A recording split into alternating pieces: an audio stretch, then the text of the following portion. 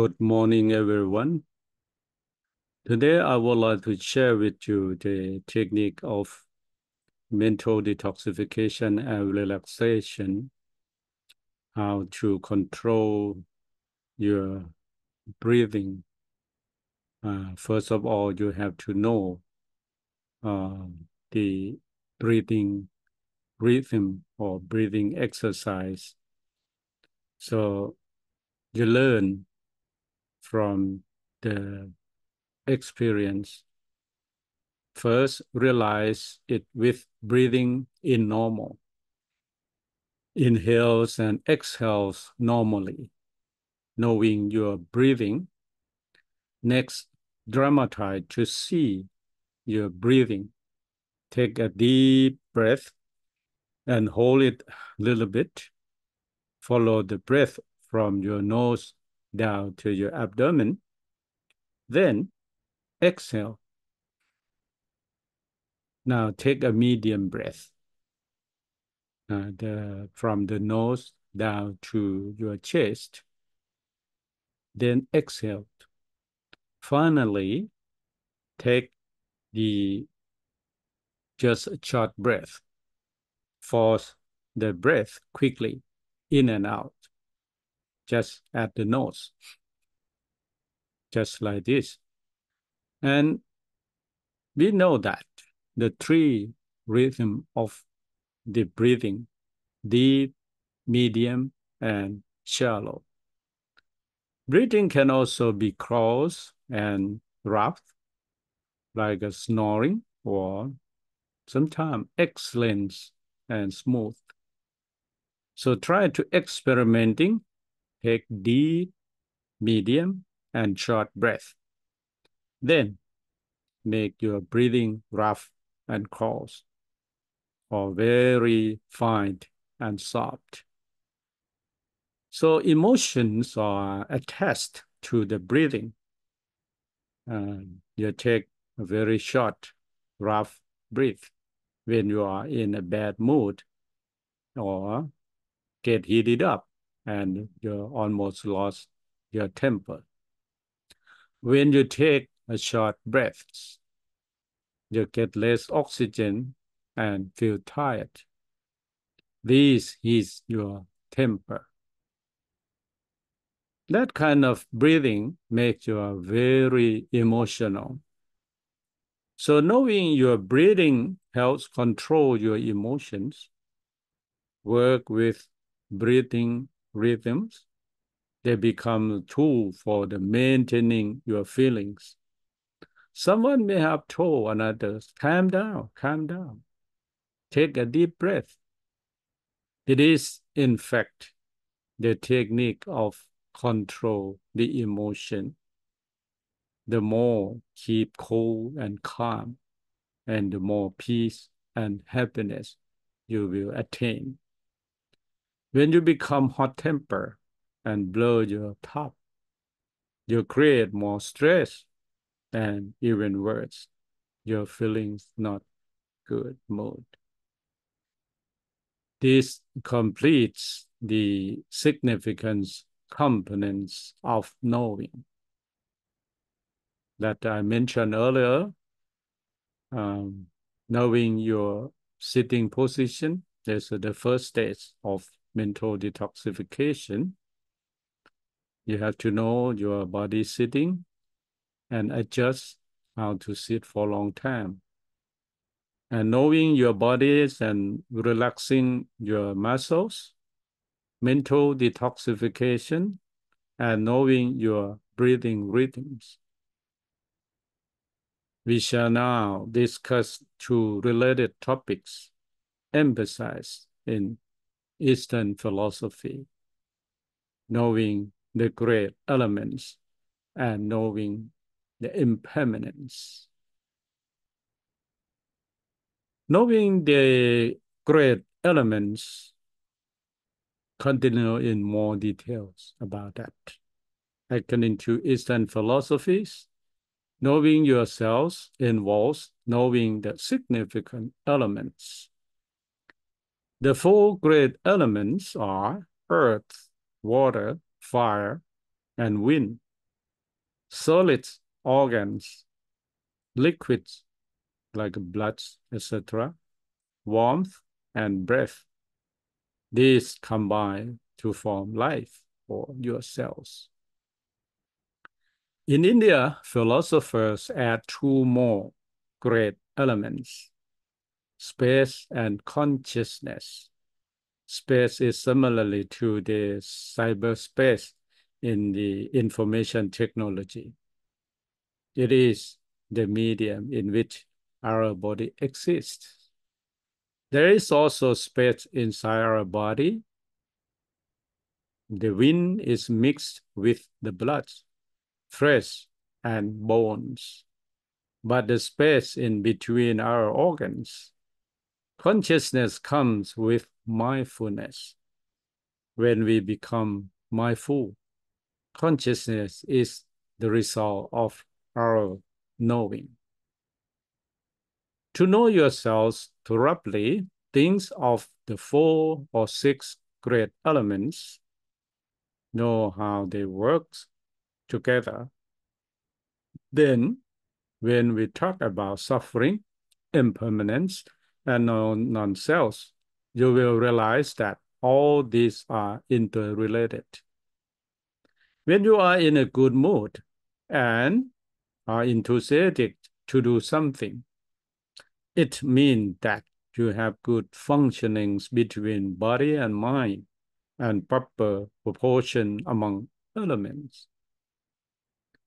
So next, knowing impermanence. This is very important if you understand or you realize about the four, uh, the three characteristics of existence, you understand the universal laws. From observing your breath and your thoughts, you know that everything is impermanent, constantly changing. Nothing remains the same form, moment to moment. Also, know that you cannot control this change. You cannot hold your breath very long or keep your mind from thinking. This means that everything is non-self, not you and yours. You cannot control it. Because we see ourselves as enduring entity and are usually trying to hold into something or some state we have achieved.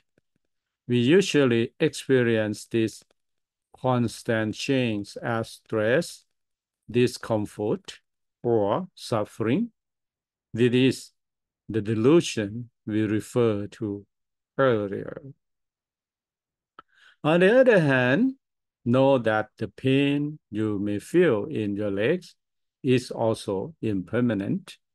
Just know it and wait for it to pass away. This provides a model for dealing with problems in daily life. Know that they are impermanent. Don't worry, and time will take its course. Just rest, relax, and forget about it for a little while.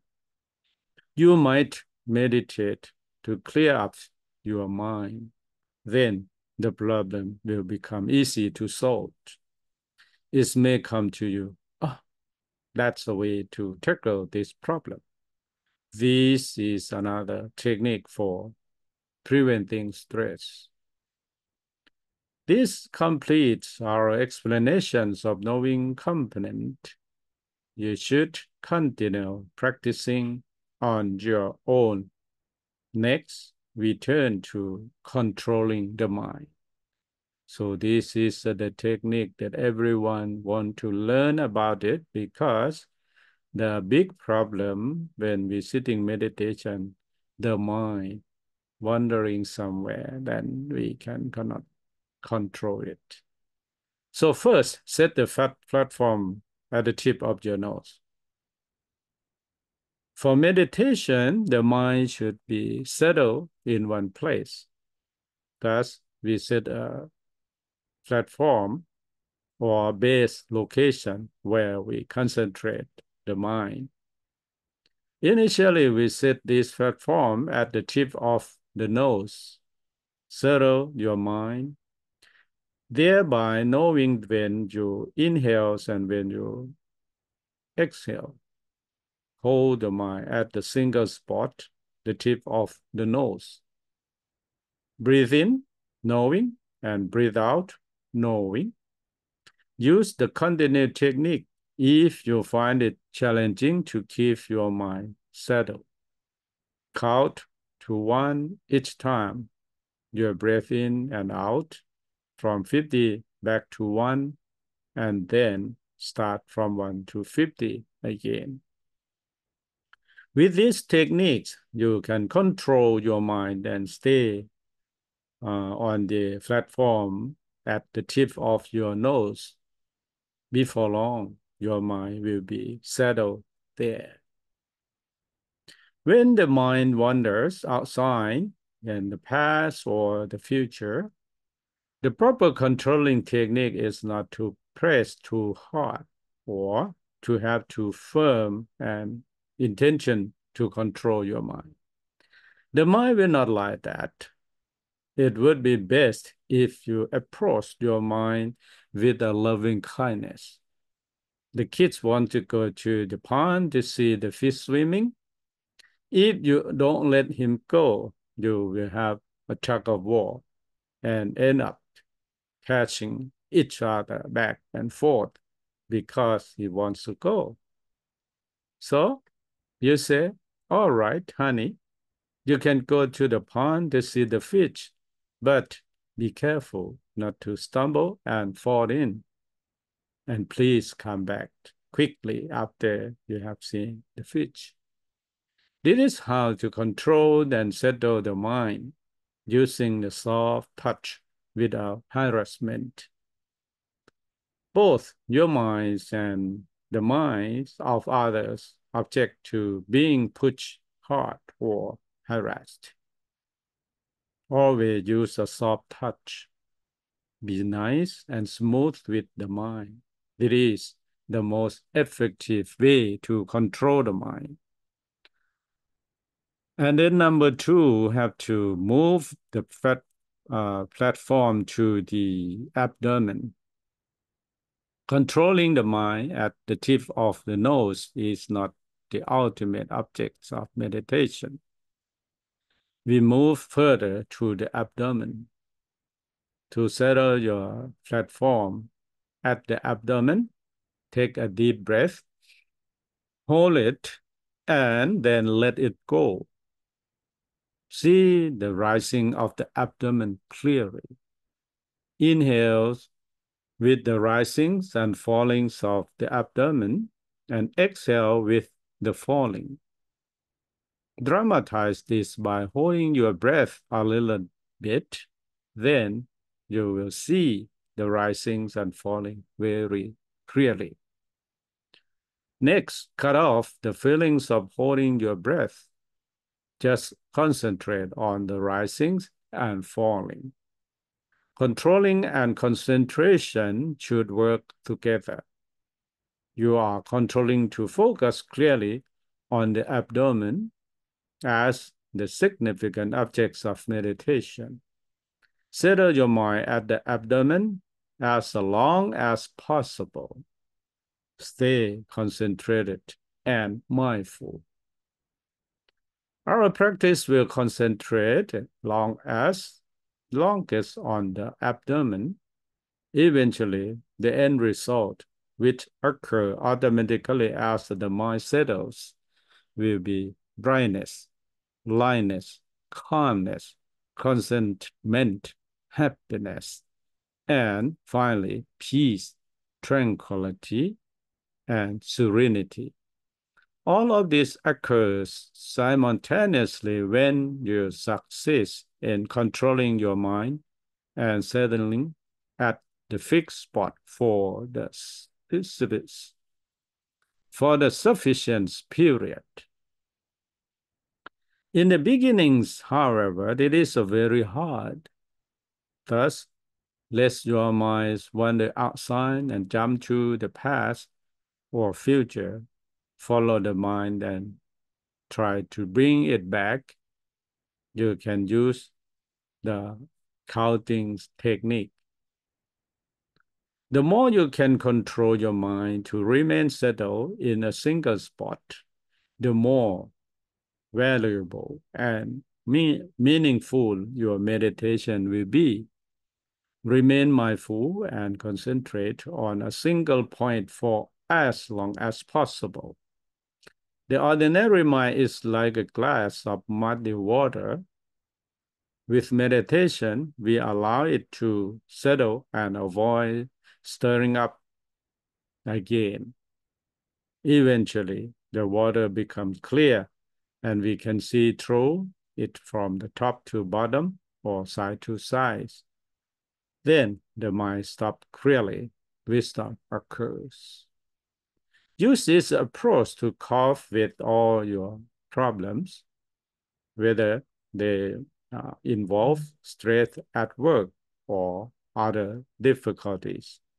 Slow down, breathe deeply, and meditate. When your mind becomes clear, your problem will solve themselves. This is what we call cultivating wisdom from your meditation. Number three, bring the mind back.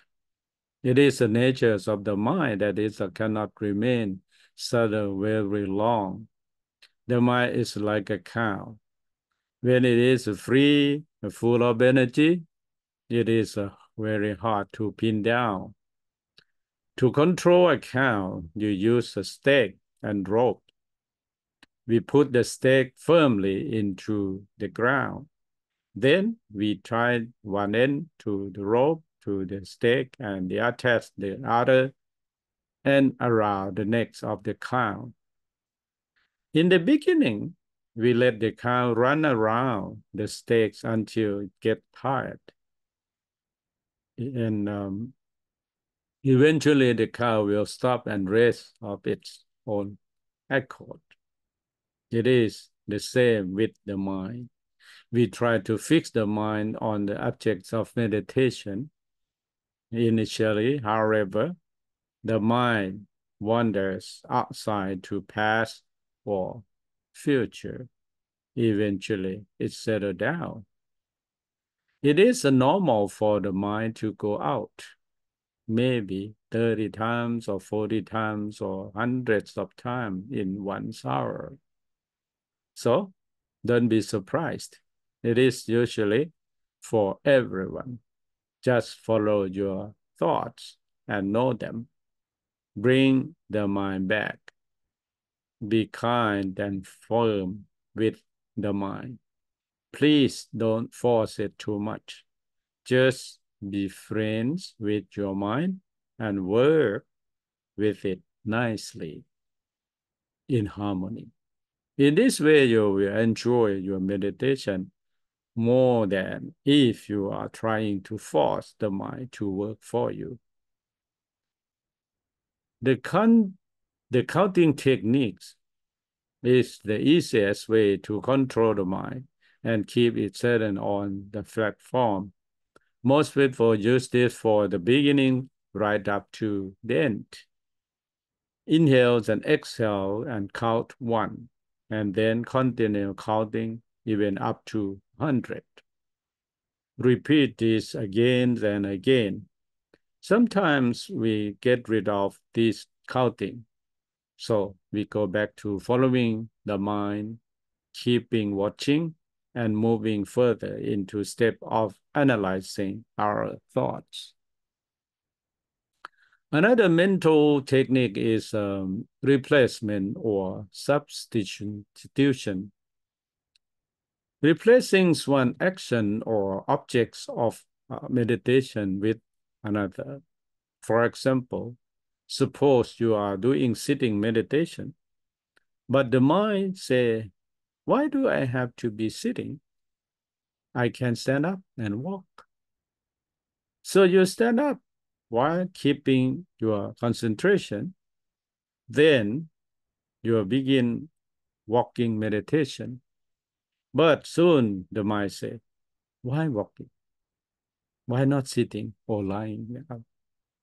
Then perhaps you return to sitting meditation. It is what we call substitute, substituting or replacing the action or objects of meditation.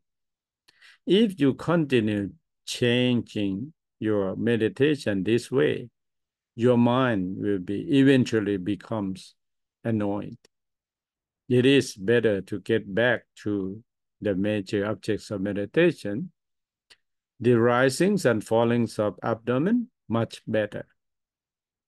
Finally there is a third technique for controlling the mind. When it is really intransigent put your tongue against the roof of the mouth and cross your teeth together. This will bring the mind back. All these techniques can help to control the mind, but they require practice. So this is all technique that I would like to share with you today. And I hope that you can enjoy the meditation technique, how to control your mind and understand the four great elements.